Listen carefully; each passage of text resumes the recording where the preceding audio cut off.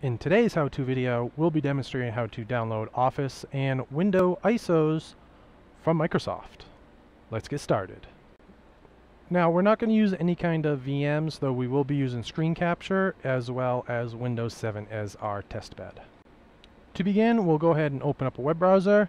Uh, any browser will do, but we'll be using Firefox. In the search, we want to type Windows Download Tool.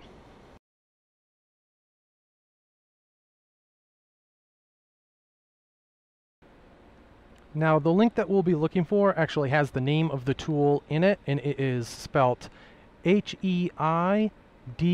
dot net. That is the tool we want so we'll go ahead and click on this link. So I did not create this tool nor do I take credit for it uh, but working in IT I find it very useful.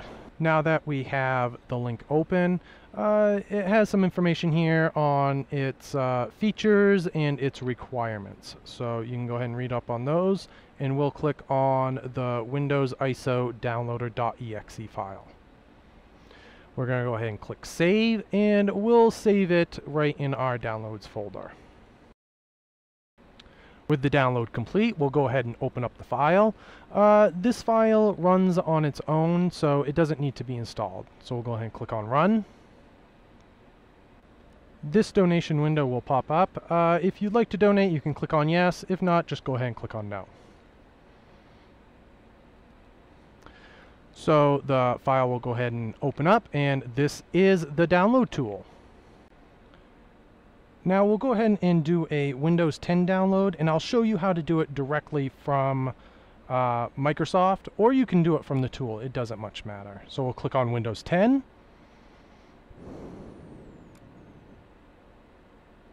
And now this pop down will select our edition. Uh, they've got a whole bunch of ones up here, so we'll just uh, go ahead and click on the newest one, which is the uh, April Home and Pro Edition. We'll click on confirm. And uh, now it's going to ask us our language, so obviously we'll click English and click confirm. And now it's going to ask us if we want the 64 or the 32-bit version. Um, what we can do is actually if we come over here, we can click and copy the link. So if we copy the link, it'll tell us that it's been copied to the clipboard, so we'll click on OK and we can actually come up and open up a new tab and paste this link right into here. And as you can see, it says right here, softwaredownload.microsoft.com. So this is right from the Microsoft website. So we'll go ahead and click go. And there we go. We got the Windows 10 English 64-bit. And we'll go ahead and save this file. We'll save it in our downloads. Depending on how fast your internet is, will determine how long it will take to download. Now, as these ISOs are from Microsoft, you will need product keys to activate them. So using this tool, you can download uh, Windows 7, Windows 8, Windows 10. Uh, you can also download a bunch of Office versions as well.